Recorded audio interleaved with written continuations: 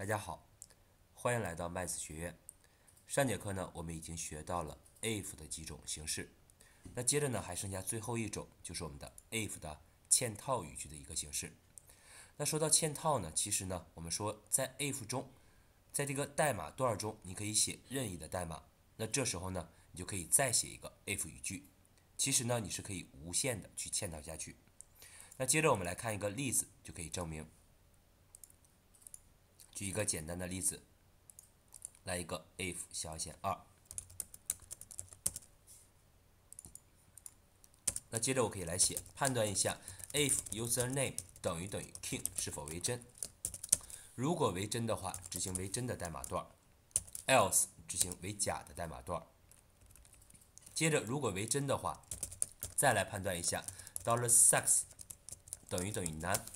如果为男的话，我们干嘛？else，我们再干嘛？那接着我们再看，如果是男的话，我们再判断一下年龄。if dollars age 如果大于十八啊，小于十八，我们干嘛？else 我们再干嘛？这样的一个情况。那现在来看，用到了这个 sex，用到了 username，包括用到了 age，我们可以定义一下，username 等于一个 king，那 sex 呢等于一个男。再写成一个 age 等于一个二十。那现在如果小于十八的话，我就 echo 一个啊，你好，King 先生啊，King 同学啊，小于十八。else 呢，我们就 echo 一个，你好，King 先生，先生啊，这样的形式。那如果说不是男的话，我们接着走 else，同样的也可以判断一下，if dollars age 如果小于三十的话，我们干嘛？else 我们再干嘛？首先不是男就是女，我就可以 echo 一个，你好，你好，king 小姐，小于三十的我们都叫她小姐就可以，king 小姐。那 else 呢？如果大于三十的呢，我们就可以叫一个，你好，king 女士。女士呢和小姐应该是一样，我们叫一个 king 夫人，啊，就这一个意思。那接着你看，你可以无限的这样嵌套下去是可以的。同样的，你还可以再往下来嵌套，是一样的效果。如果不等于 king 的话，我就 echo 一个啊，this is a test 这样的形式。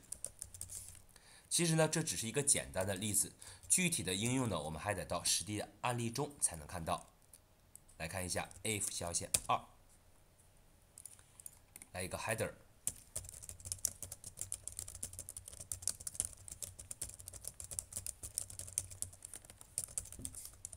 这时候呢会出现一个你好 King 先生，因为呢正好名字是 King，性别是男，年龄是二十，接着把它改一下，写成一个女，你看到你好 King 小姐。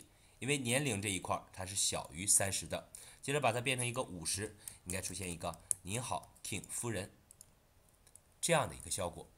那现在你看到，这是一种 if 嵌套的形式，也就是在我们这个代码段中，你可以写 this is a test，同样的，你还可以再写一个 if，包括你再写成一个对变量赋值都可以。你说我写成一个 dollars one 等于一个一啊，十二 dollars 啊，salary。写成一个一二三四四点四五六，都可以，都可以。你完成了一个变量赋值，接着又碰到 if 的情况下，再来判断这个条件是否为真，这样一个过程。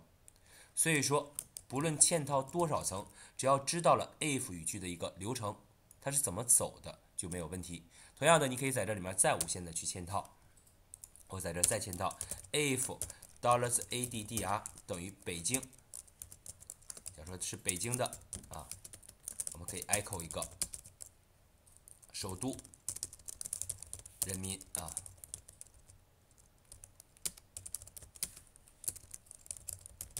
这样的形式。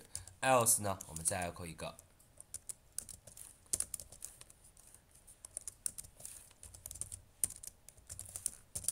echo 一个啊，全国人民这样的形式。那现在你会看到又多了一句您好，King 夫人啊，全国人民这样的一个形式。那现在因为什么呢？因为你没有这个 addr，它是一个空，空等于等于北京吗？不等于，所以说会出现一个 else 全国人民的一个形式。那接着我再稍微变一下，写成一个 king 一。